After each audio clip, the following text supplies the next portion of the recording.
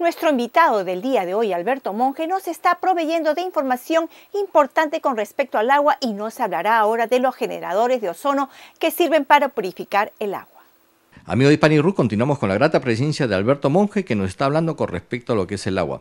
Eh, dime, eh, con respecto a, los equipos de, que son para purificar el agua a través del ozono, eh, hay equipos pequeños, pero también hay equipos que son, se podría decir, industriales para vender el agua, se podría decir, ¿no? Que tienes, que estamos mostrando en estos momentos en la, en la pantalla y que te pertenece a ti. Es algo que tú creaste, ¿no? Sí. Tenemos dos, digamos, dos divisiones, ¿no? Una de, los equipos pequeños eh, que nosotros importamos y, distribuimos aquí en Canadá y que tienen mm, aplicaciones como las que ya expliqué. Correcto. El otro es el, departamento de eh, servicio móvil de purificación de agua. ¿sí? Es para ofrecerlo al público a los interesados específicamente en invertir en este tipo de, industria o de empresa. ¿Por qué? Por los resultados y los beneficios que aporta la sociedad en cualquier lugar del mundo. Cuando yo he hablado de esto, por ejemplo, eh, en, Latinoamérica, sí. Eh, en y, Sí, y, cuando he hablado de esto también inclusive para eh, la gente del, cercano oriente, ellos se interesan muchísimo, porque se trata no de un sistema tradicional como es el de envasado en una planta de botellones de agua, que todo el mundo conoce, que todavía existe aquí, en Canadá, y luego el transporte a domicilio. Ese no es el sistema. Esto reemplaza al sistema. Y como podrás mostrar eh, eh, al público televidente, son estas máquinas que toman del agua, de la tap water del cliente o de quien ha pedido el servicio. Este es un servicio móvil de envasado domiciliar y se la purifican. Entonces encaja dentro, dentro de todas las regulaciones eh, de los países, porque todos los países en el mundo garantizan que el agua que purifican es buena, ¿correcto? Entonces lo que se vende es un servicio de purificación, no se vende agua. Y eso fue el plan piloto que se realizó en, en Perú, en donde estuve seis meses y pude eh, tener excelentes resultados, incluso se vendió una franquicia temporal, pero en este momento el interés es encontrar inversionistas que quieran encargarse de la producción en el país que quieran y en la zona que quieran. El agua que se toma en estas botellas de plástico, tengo entendido que estos químicos del plástico son, eh, son tomados si es que estos están el agua está envasada por un largo periodo de tiempo, ¿no? Sí, sí, naturalmente. El, el problema mm, tiene varios componentes. Es decir, cuando se embotella el agua, el agua está hecha para estar circulando, para estar en movimiento. Por eso se habla del ciclo del agua.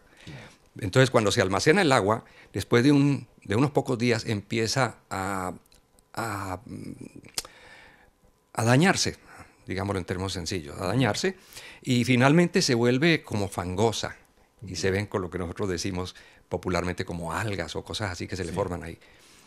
Esta, ese es el problema del agua. Por eso es que los que producen agua embotellada les, les añaden eh, químicos eh, que las conserven.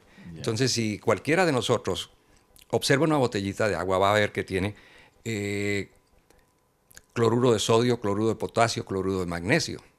¿sí? Además ha sido empobrecida porque los procesos de filtración entre otros, por ejemplo, la reverse osmosis, atrapa, eh, atrapa los minerales y empobrece en el agua.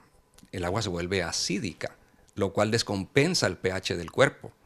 Entonces, mire todas las complicaciones. y, el pH tengo entendido que puede, cuando uno no tiene buen pH en el cuerpo, puede causar cáncer, ¿no? Efectivamente, hace más o menos 50 años el doctor Barbour alemán mm. recibió el premio Nobel de Medicina. Y lo recibió porque él dijo que la cura del cáncer era nivelar el pH. Yo simplemente estoy tomando información, yo no soy un experto en el tema, pero cualquiera lo puede eh, ver. Y el pH del cuerpo se daña cuando se toma cualquier eh, o se ingiere cualquier eh, agua acídica o cualquier otro alimento acídico.